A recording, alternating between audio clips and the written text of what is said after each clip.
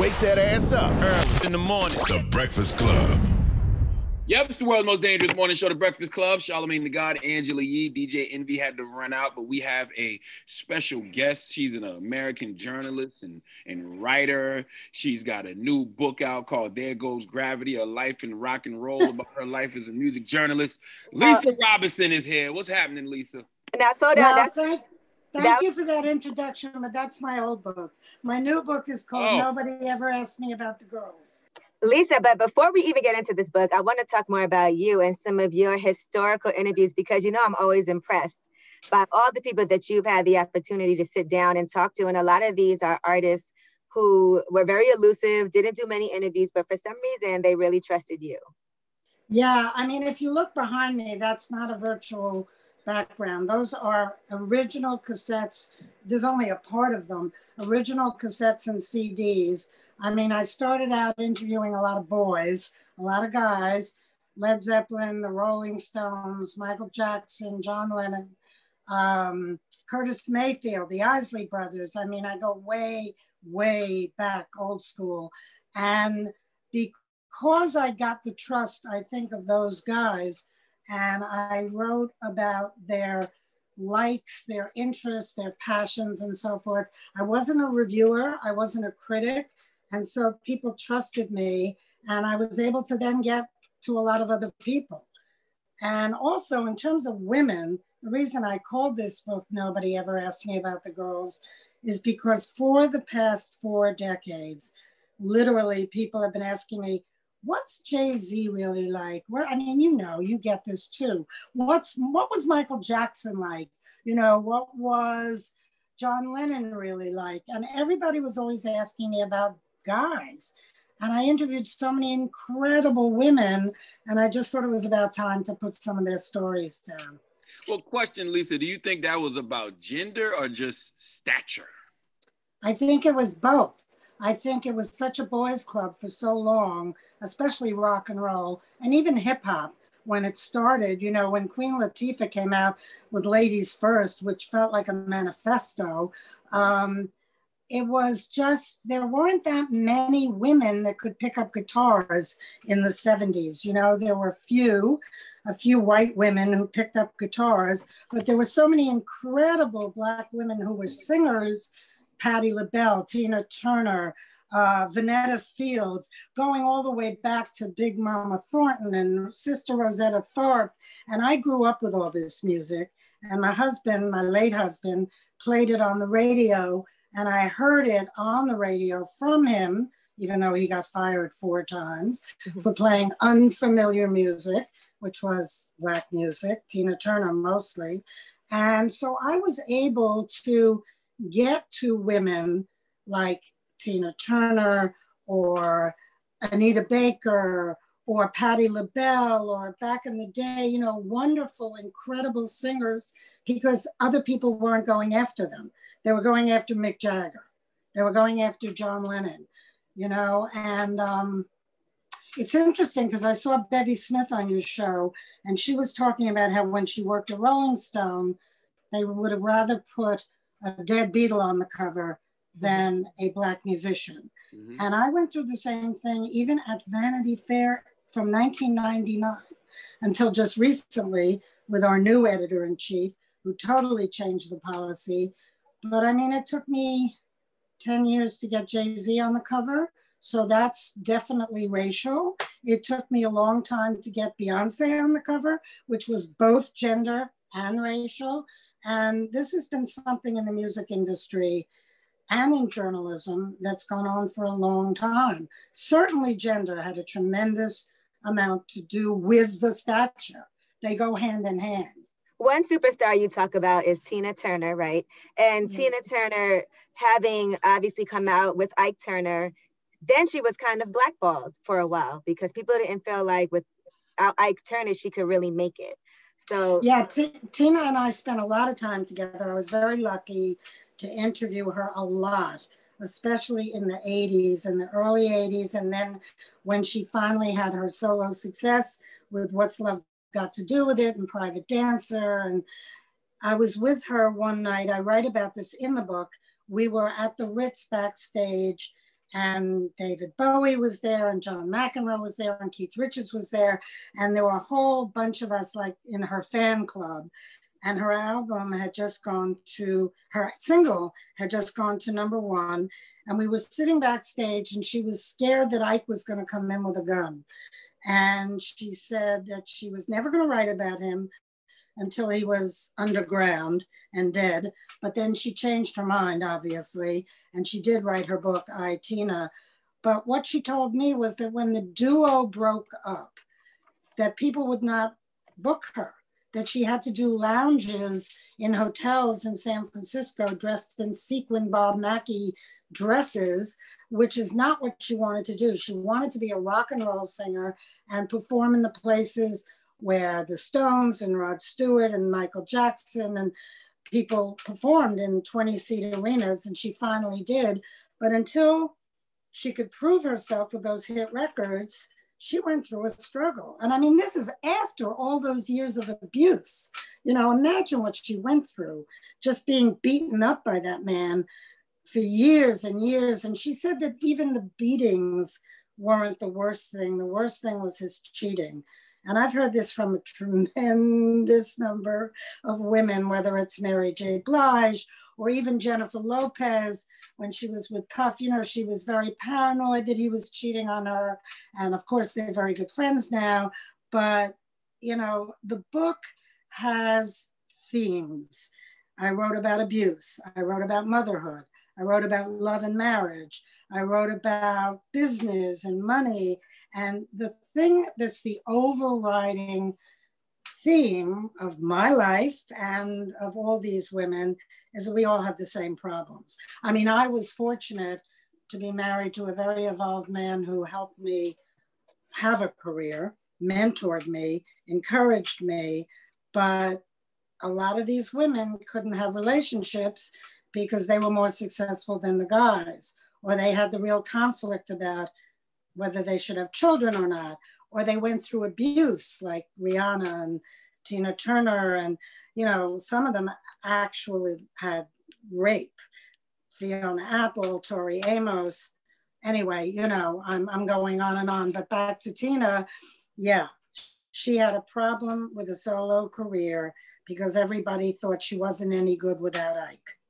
Mm-hmm. Lisa, how do you how do you think the, the role of women in entertainment has, has evolved over the years? Gotten better? Is it worse? Is it the same? I think the role of women in general has gotten better, but honestly, it's like five minutes ago. I was watching a documentary on Martin Luther King and um, the FBI and how they had tapped his phones, and there were all these shots of the cabinet and Lyndon Johnson's cabinet and Congress, and you see a absolute sea of white faces. And it's just shocking to see this now because there aren't enough women in Congress. There certainly isn't enough diversity in Congress or in any corporation, frankly, or heads of corporations. And the music business is the same. There are about five major women who run companies. I interviewed three of them off the record in the book. If you read the book, I think you could probably figure out who they are, but I did promise them I would do it anonymously. but, you know, even a woman who we all know who runs a billion dollar empire told me that she sits in a conference room and men talk over her. Mm-hmm. They interrupt her um, they don't pay attention to her. They don't give her the respect that she certainly deserves. And women in music in general are paid more attention to now if they sell records. It's the same as it's always been. Joni Mitchell made more money than the Eagles because she sold out bigger arenas. You know, with what's happening now, especially with women like Lizzo and Megan and Georgia and you know Cardi, and we're at that moment again where women are high up on the charts. But I've seen this every decade, whether it was the '80s with Pat Benatar and Cyndi Lauper, and you know. Uh, Madonna, or whether it was in the 90s with Destiny's Child and uh, Salt-N-Pepa. And I mean, there's just, every decade we go through a period where women rule the charts, but I'm not sure that they're still not underpaid, undervalued, and underutilized. Um, it's interesting you say that about Salt-N-Pepa too, because they have this uh, this biopic coming out on I know. on Lifetime, and one of the things when I was researching them that they talk about is how they were at the top of the charts, selling millions of albums. They sell more albums than Wu Tang, but they don't get celebrated in the same way as some of their male counterparts who they may have outsold, but for some reason it's just that same amount of respect hasn't been there.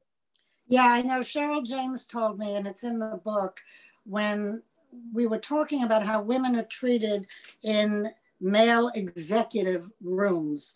And she said, Well, if you carry yourself a certain way and you act like you have confidence in yourself, they have to respect you. And she said that.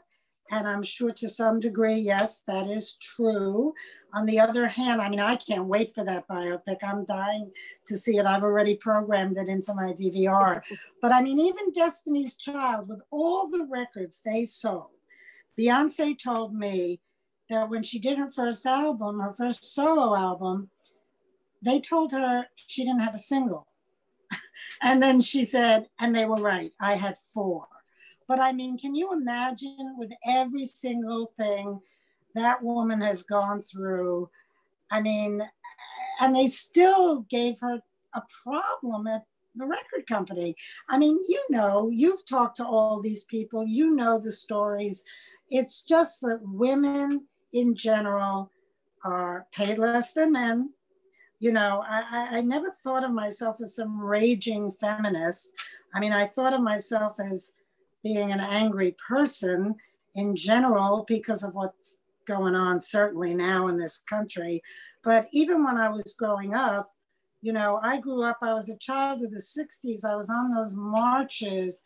I mean, I just thought things had changed. And obviously, no, they haven't. And things are better for women now, Charlamagne, in the music industry and everywhere else. I mean, we have a woman half black, half Asian, South Asian, whatever, you know, vice president being inaugurated tomorrow, which just fills me with hope and joy. But I don't know, we still have to use that word still, and we still have to use that word only. And um, it's it's not enough. So, it's, so Lisa, it's not enough. Are you you saying that they told Beyonce she didn't have a single because she was a woman? Because I mean, guys get told that all the time. They don't have a single. I think that people are told all the time they don't have a single because these men were the ones making these decisions as opposed to leaving it up to the artist. And until the artist has enough power that she can pretty much demand, I mean, Lorde, for example, told me that when she went into the record company um, meetings, she would love to go in and shoot down a bunch of million dollar ideas because she knew what 16 year olds would want to hear more than those old men would. And she was right, but she had a hit. And if they hadn't, she hadn't had that hit, or if Adele hadn't had that hit, or if Beyonce didn't ultimately have that hit, you know, I was in a recording studio once with Gwen Stefani when she was recording a song that was so amazing that we were all like drinking champagne and dancing and jumping around. and then she took it to the record company and they told her they didn't like it and they didn't put it out.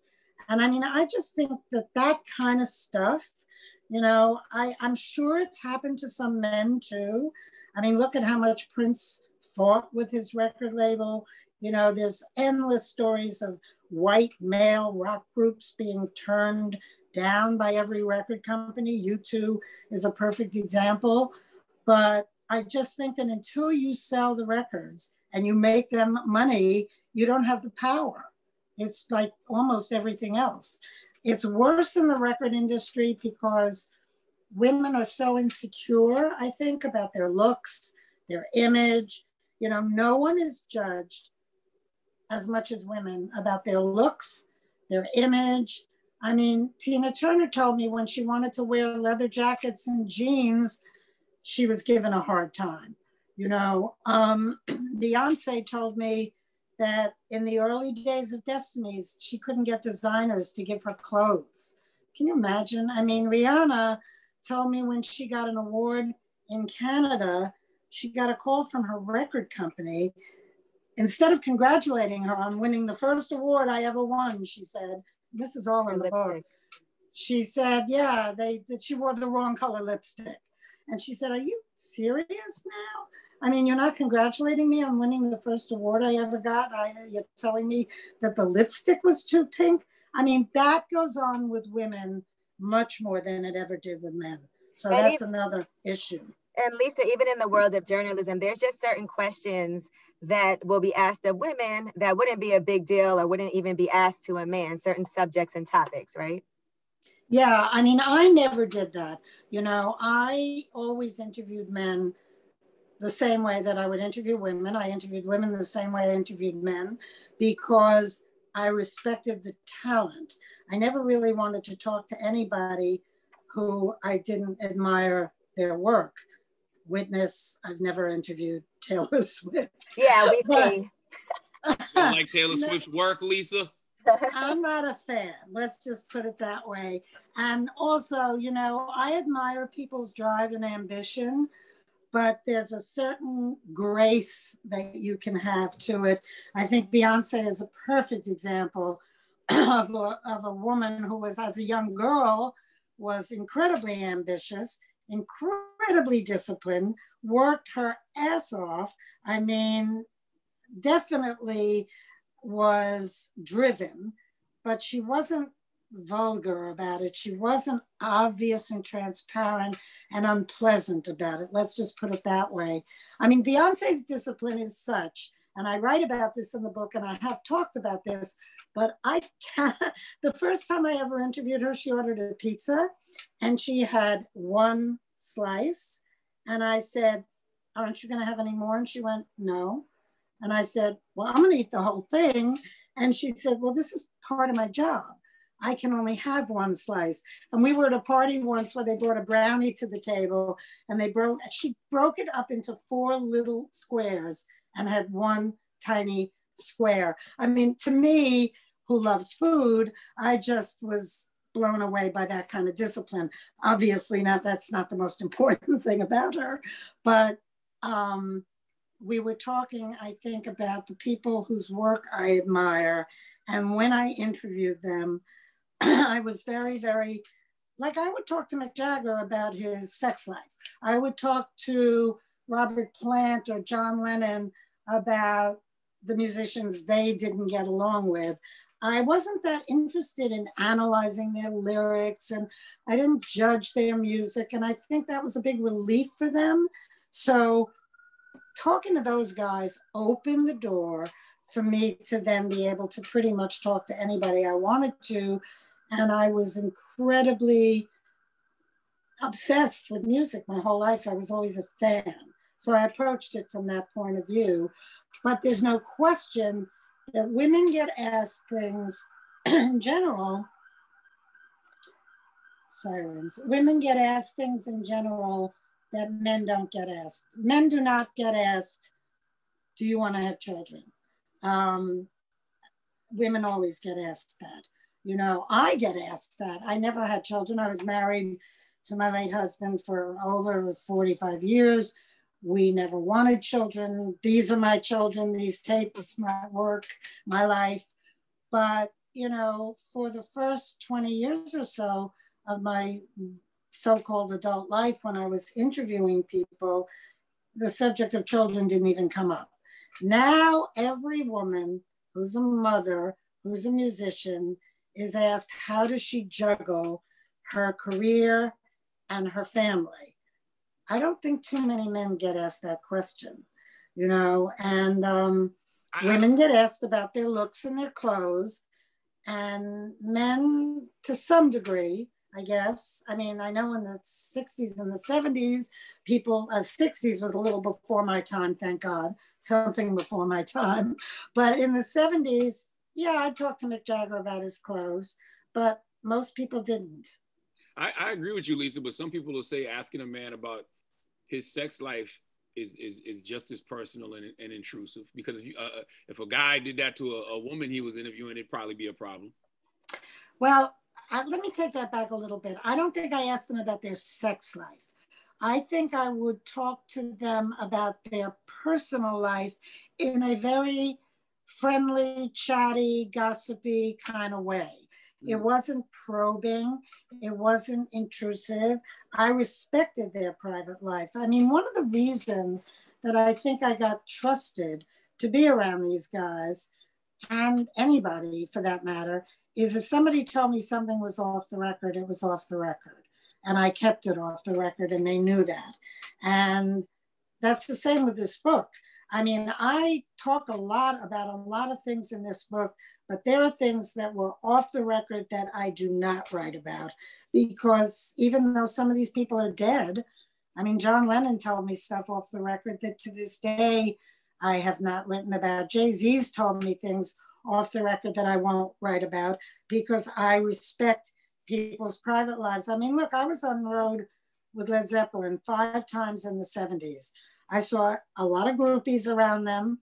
I knew they all had wives and children at home in England, but I didn't witness any of the real supposed depravity that went on. I just wasn't part of that. I never took drugs. I never slept with musicians.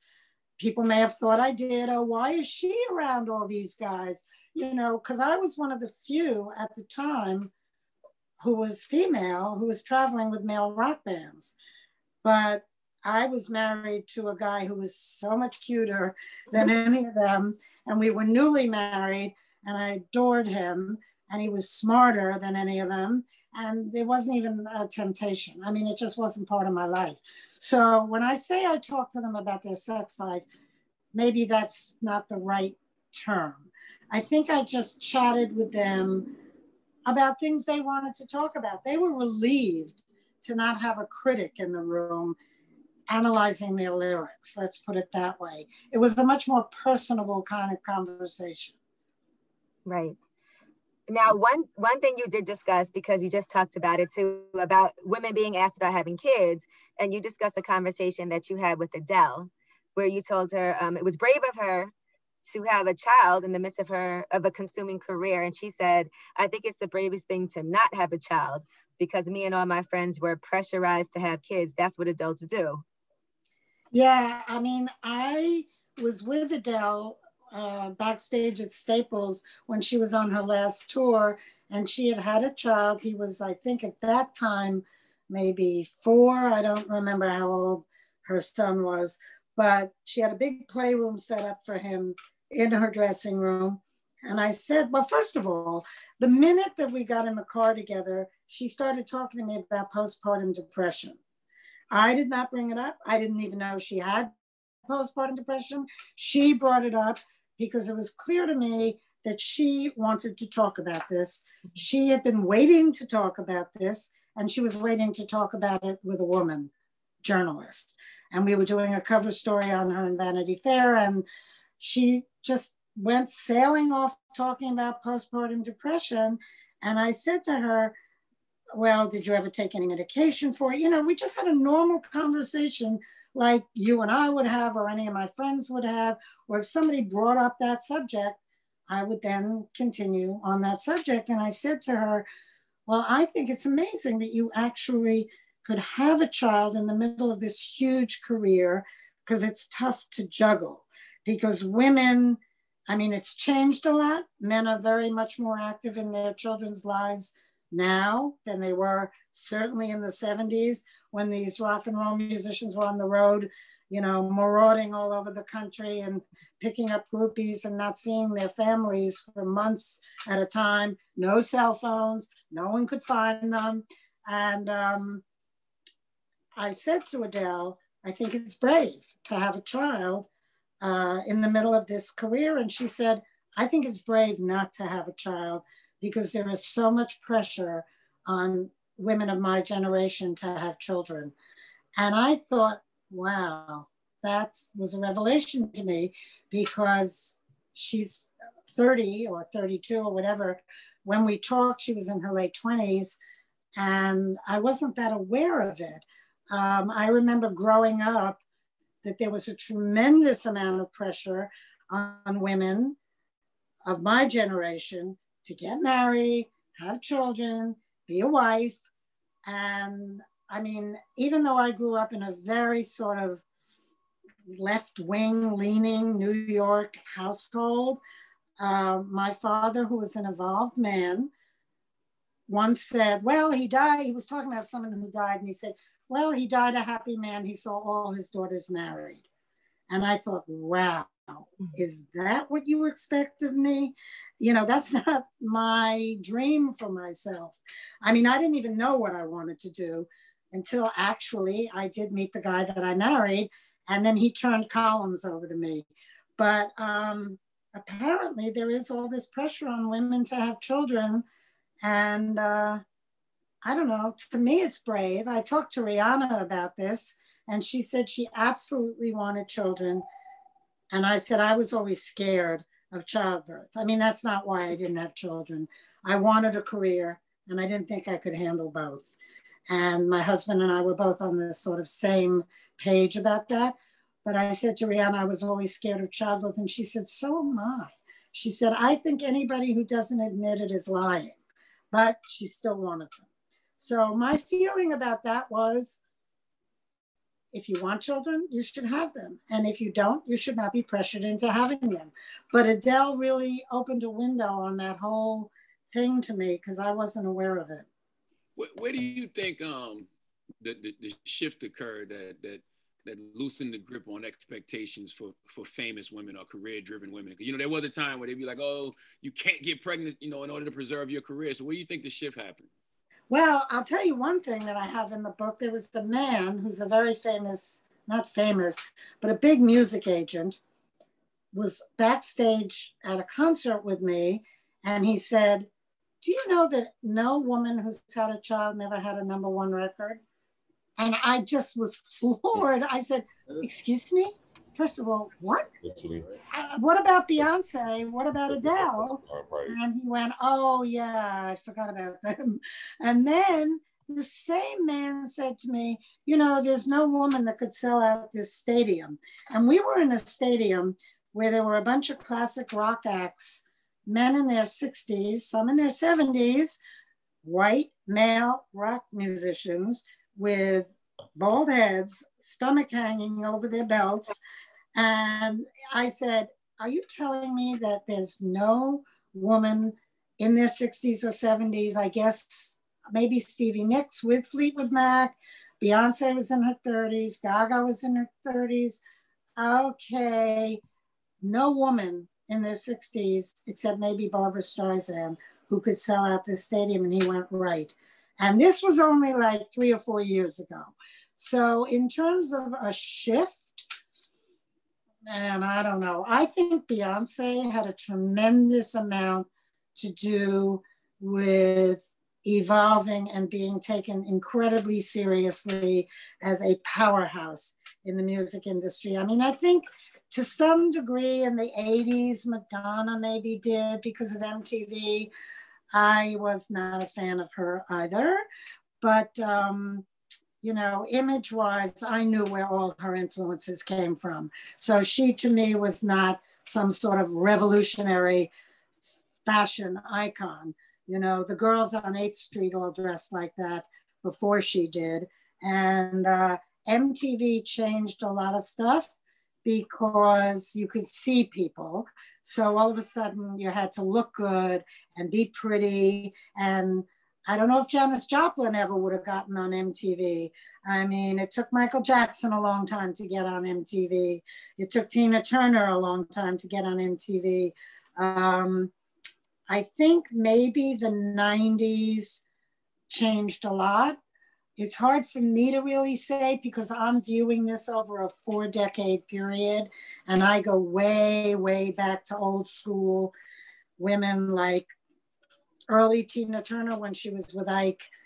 You know, to me, I would go see the Rolling Stones in concert, and Tina Turner and Ike Turner would open the show, and I'd be much more interested in Tina Turner singing Proud Mary than even the Rolling Stones. And I was a Rolling Stones fan.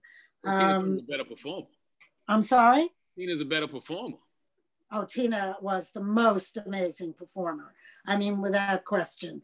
The dancing, the voice, the singing. But, you know, it's like that with so many.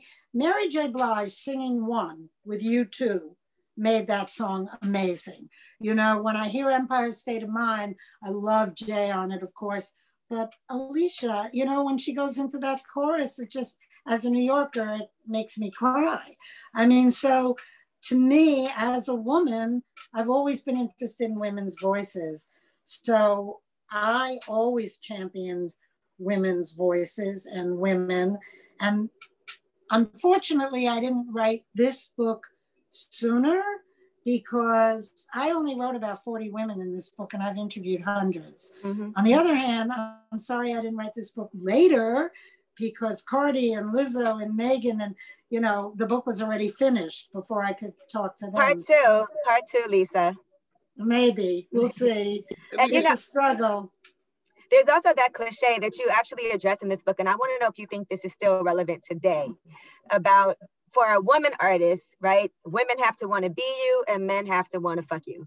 And you bring that up. And do you think that still holds true? I absolutely think that if I was a fly on the wall in the rooms where those men are discussing who they're going to sign, they absolutely talk differently than when a woman is in the room. We know this. Women talk differently among themselves when a man is not in the room.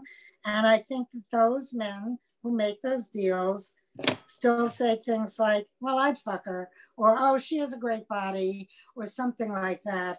Um, women want to identify with other women because that's why so many women have so many female fans, you know. So I think the combination of both, I know it's a cliche, but I think it works. I mean, I think it's true. I think that the men mostly men, and hopefully that will be changing. But, and it is changing to some degree. I mean, Julie Greenwald has the ability to sign Cardi B, you know, um, but there aren't enough of those women. Uh, but those women will sign somebody that they feel women will also love and think are fabulous. And um, I don't know what what woman would not have wanted to look like or sound like or be like Rihanna. I mean, she's fantastic, you know. And then there are those men who think she's sexy. And that's the other reason that they wanted to sign her. Although Jay told me that when she auditioned for him, she had fire in her eyes. And when I told her he said that, she said, I didn't know I had fire in my eyes. But, you know, I think that cliche is a cliche for a reason. Yeah, they do. I mean, they do. I agree with you, but they do that with guys too. Like they'll tell guys that you know, if, if a guy's in a relationship or he's married, they'll tell guys not to let people know that they're in a relationship or in they're married because girls gotta have the illusion that they can get with you. Well, that's an age-old thing. That's absolutely true. I mean, even John Lennon did not publicize that he was married in the early days of the Beatles because they were too afraid that the fan club would be turned off. And I guess I mean, I guess that's still true. Um, I'm trying to think of some examples.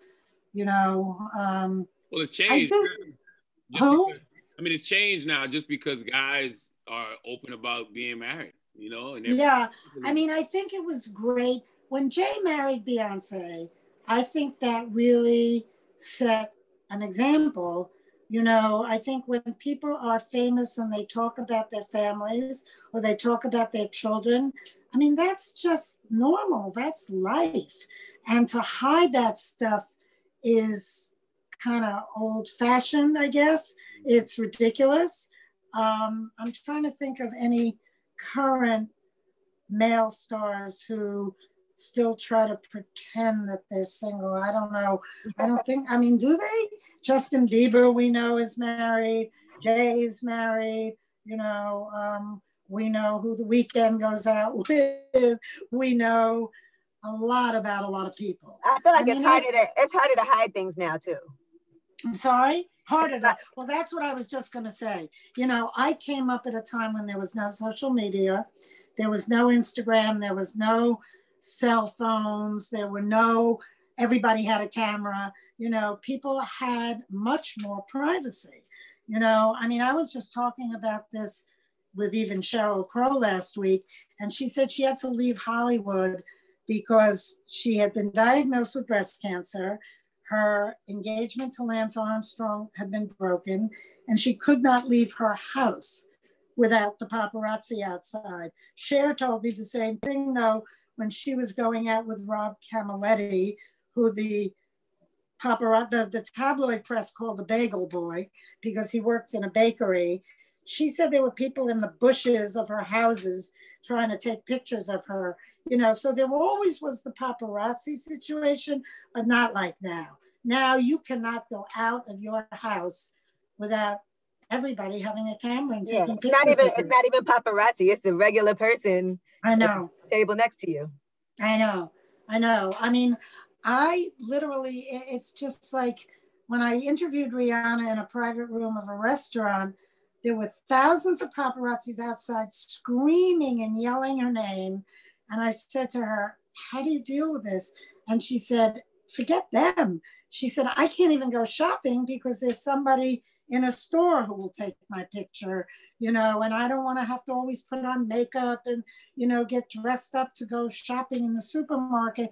And I wish I could go shopping. And actually, I have a whole part in the book about this, about how all these women told me that they wished they could go shopping for their groceries. And I said, Really? It's a luxury. Mean, to me, it's a chore. You know, I would much rather have someone go shopping for my groceries. And Rihanna said, no, it's just something normal. I want to do something normal. And Adele told me she would put on a hat and sunglasses and go shopping at Bristol Farms. And Lady Gaga told me she would go to the supermarket and buy a melon. But you know, I've walked down the street with a lot of these people and a lot of famous people. And I remember David Bowie telling me there was a way you could walk down the street where you get recognized and a way you walk down the street where you don't get recognized. And I'm, I don't know. I don't know. I, I, I walked down the street with Lady Gaga on the Lower East Side where she used to live, and she got stopped every two seconds, but she was delightful and charming and signed every autograph. And, you know, there are just some people that are really, Tina Turner was like that wonderful, just amazing. You know, Alicia Keys is like that. She's very, very gracious. Um, Patti LaBelle. I can't say enough about Patti LaBelle, who I, I know. Patty. Well, you know, my husband worked at a record company with the Isley Brothers and Curtis Mayfield and the Impressions at the very end of the 60s. And he knew when they were Patti LaBelle and the Bluebells, and they did I Sold My Heart to the Junkman. And I got friendly with Nona Hendryx and Patti and, you know, Vicki Wickham, who was their manager at the time. And that is, that Patti is a woman who, I mean, I just, you're just filled with love when you're around her. She's so special. She's just lovely. And so that just, when there are women like that, like Dolly Parton, like Patti LaBelle, like Bette Midler, like Tina Turner, like Anita Baker, like just, I don't know. When you see women like that and you talk to women like that and you know women like that who are even of a certain age, who have been through the mill, who struggled, who just went through every possible thing that women could go through, and they still are lovely and gracious and warm and friendly. And then you see some of these brats. it's just, I don't know. To me, I'm very inspired still by a lot of these women. You know, Lisa, I got two more questions for you. Um, because you talked about Lorde earlier and how Lorde loved to shoot down the ideas from from old men. Do you, do you think the challenges of age override gender in the entertainment industry?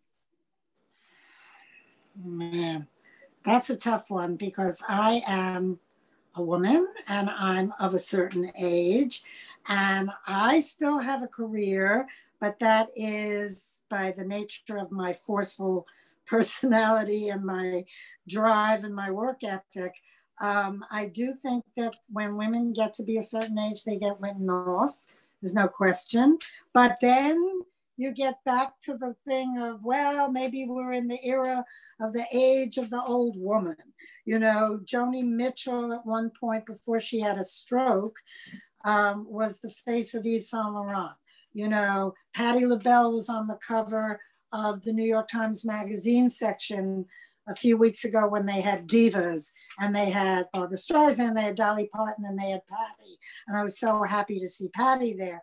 Um, I think that there are many of us who appreciate the history and the legacy of older women.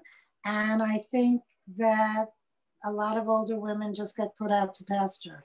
And I think it's partly female and it's partly um, age. I mean, Mick Jagger is 77. And once the virus is over, if they're all alive, the Rolling Stones are planning to go on tour. And he dances around the stage and prances around and he works out five hours a day. And, you know, I don't see a woman that age doing that. So I just think that, as I said, that agent said to me, no woman that age could do that. So I think it's a combination of both, Charlamagne. I do. I think it's female. I think it's gender. I also think we have to really address race in this because I think there's no question that Black women had a much, much harder time. Um, I know from my own work, and especially my first 10 years at Vanity Fair, that it was much harder for me to get Black women in the magazine. It's like what Bevy Smith said about Rolling Stone. You know, I grew up hearing blues in my household. I grew up listening to Ma Rainey and Leadbelly and Big Mama Thornton. I mean, it was a very unusual upbringing. I snuck out of my house at the age of 12 to go see Thelonious Monk or Miles Davis or to listen to jazz musicians and singers like Sarah Vaughan or Lorez Alexandria or Dakota Staton you're all going to have to Google these because these women have been maybe long forgotten, unfortunately, because the music is wonderful. And when my husband played Tina Turner and Venetta Fields, another name you should look up, or P.P. Arnold, who was a Black English singer who did Cat Stevens' first cut is the deepest. When he played that on Freeform Radio in 1969, he got fired for playing unfamiliar music. Then they hired him again. And I mean, he was a white hippie guy with long hair, but he loved that music. He had a crush on Tina Turner. He was jealous when I interviewed Tina Turner. And, you know, um, he played Jimi Hendrix's Star Spangled Banner, got fired because it was unpatriotic. So I write a lot about this in the book, but I think that all of these things, just like real life, come into play. I think gender, I think ageism, and I think race has a lot to do with it. And people don't talk about it enough, and white people don't talk about it enough. And that's kind of like part of my whole agenda, you know, just having interviewed thousand, I mean, I have 5,000 hours of digitized interviews. The original ones are behind me. The digitized ones are on computer and on external hard drives. And boy, I don't know. There's just so much there. And I've seen so much and talked to so many people that I know I'm going way off the topic, but you asked if it was gender or age, and I think it's probably both for women. Mm-hmm. But I also think that for a lot of men, you know, they have problems too. I mean, I'm not just saying this is like a man's world, even though in many ways it is, but it's not fair. It's still not equal. And it's not equal. I mean, Charlamagne, ask your wife how she is treated in a store when you're with her or when she's alone. I mean, I am telling you, my husband did not believe the deference that was paid to me when he was standing next to me as opposed to if I walked in somewhere alone. I'm not saying I was disrespected, but it's just not the same. You are considered more when you have a husband. You are considered more legitimate if you got a man. You know, people still say things like, oh, she can't get a man. I mean, it's unbelievable to me. Yeah. You know, uh, it still goes on. Just even- like all the rest of the problems we see in this country, all the social injustice, all the horrible things that we, I mean, not just that we saw this summer, we've been seeing for years. It's just like, I don't know, this country's got a lot of problems. Let's put it that way. A lot of work. No, a lot of work to be done. My last question for you, Lisa, because you are a journalist. You're, you're, you're, you're a journalist in, in the real sense of journalism, OG, old school journalism. Do you think social media has watered down the craft of real journalism? Yeah, I kind of do in a way. I mean, I'm not on social media. Yes, you are. Uh, you have an Instagram page. Well, you created it, but I don't even know how to go on it. And the thing is, I find the internet, you know, that that documentary Social Dilemma is really pretty intense. Um, I think the internet can be a cesspool. I think it can be toxic. I think it's tragic in a lot of ways for kids now, you know, especially during this pandemic.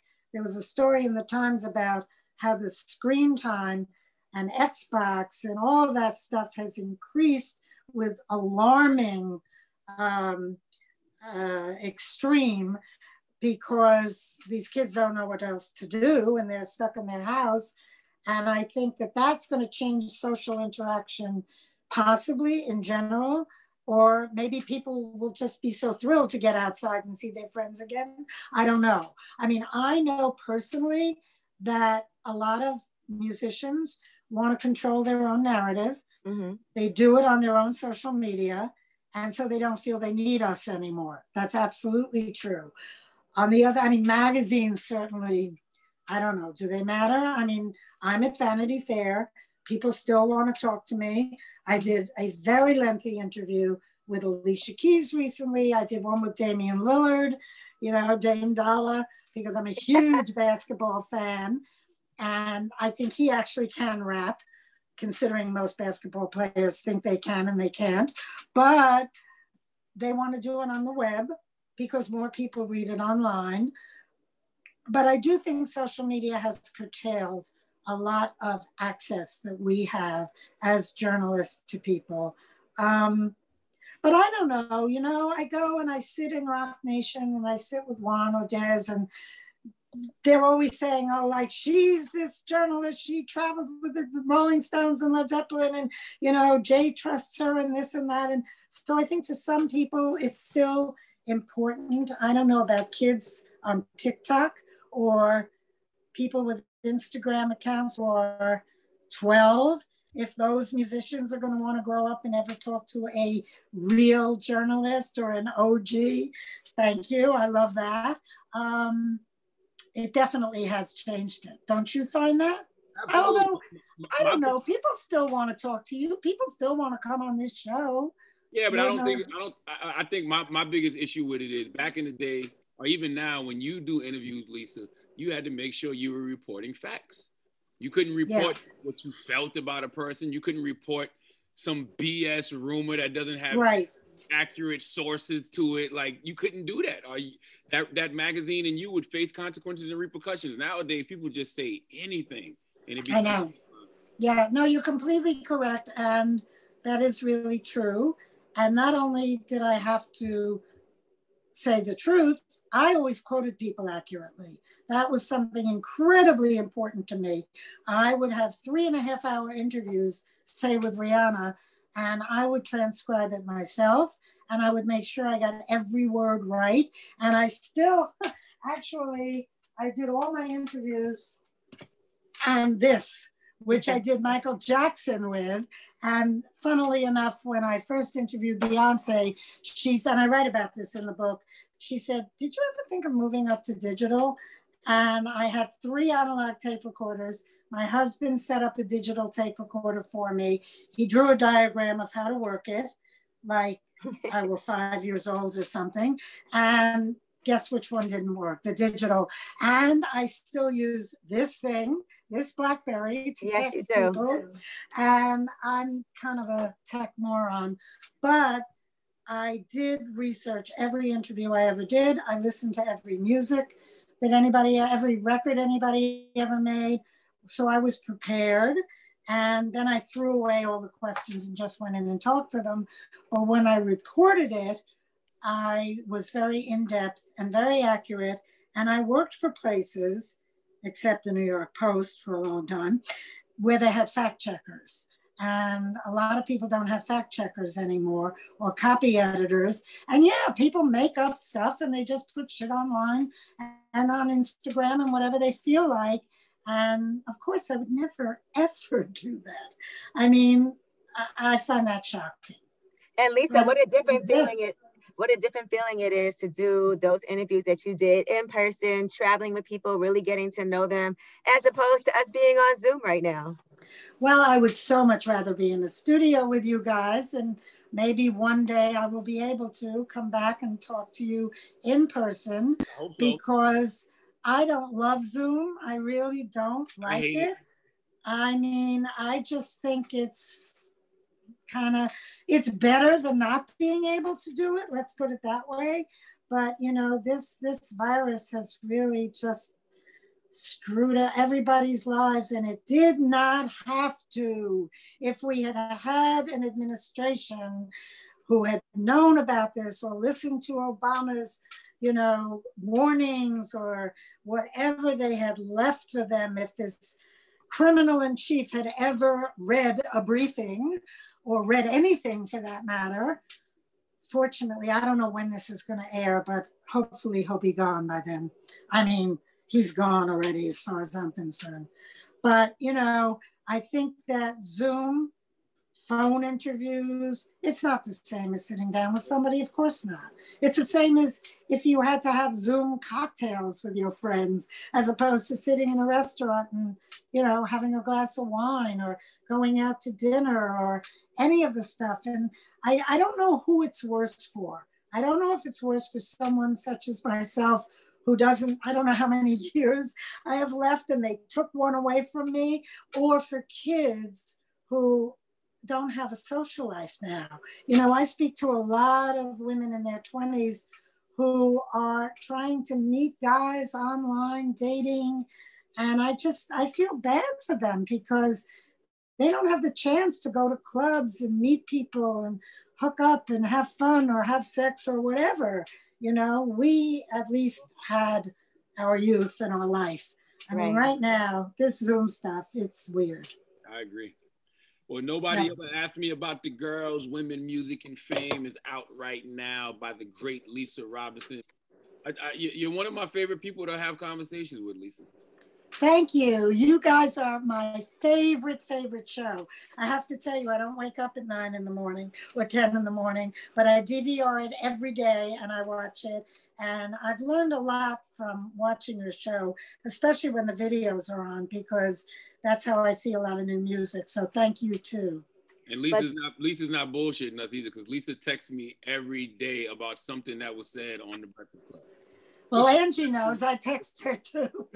yes, Lisa, I appreciate you so much and for everything that you've done. I encourage everybody to go out and get this. It is really great information to have to see all the Sade is in the book. I oh, mean, yeah, Sade, right. That was a rare interview. She very. didn't do too many. Yeah. We had a great interview. There's a hideous picture of me in there with her, though. She's beautiful. I was going through a particularly hideous time with way too much makeup and bad hair. I look like a drag queen, but we won't go into that. But amazing, amazing to get all these exclusive firsthand interviews that you have. So thank you so much, Lisa. And I know we'll see you in person soon. Thank you, Lisa. I hope so. Thanks, guys. Really appreciate you. Thank you.